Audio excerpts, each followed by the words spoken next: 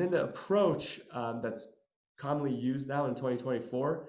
So I practice both VATS and robotic, which I'll briefly explain. So basically, these are just small incisions. Oftentimes, I actually just use one incision these days, uh, especially for smaller operations. Um, but I would say three ports is very standard, where you have a camera in one port, um, and then you have your instruments in these other small ports to take out um, the lung.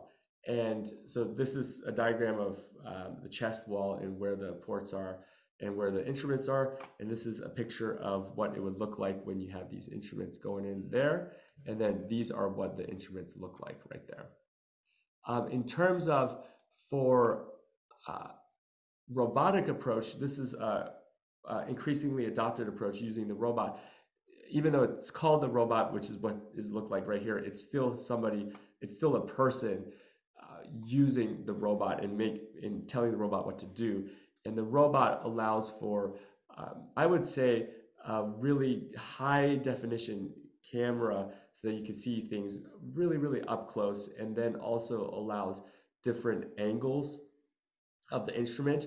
Studies have shown that both robot and VATS are equally good for lung cancer, uh, especially early stage. So if your surgeon does VATS, that's great. If your surgeon does robot, that's great.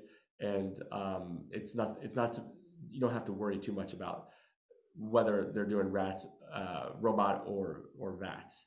Um, because I, I, know sometimes people think that the robot it, it, sounds it sounds very futuristic and cool, but really the robot is the same as VATS. So it's just a matter of what the surgeon is comfortable with and how they were trained on. Um, but basically, with minimally invasive operations, the reason why people do really well uh, after the operation compared to before is this is uh, open thoracotomy where you you have to make a big cut, you have to break a rib, you have to spread the rib uh, here on the right, and then with a minimally invasive operation, just some small ports, and so there's definitely less pain. It's faster. It's people have faster recovery, fewer complications and it's safer for older patients.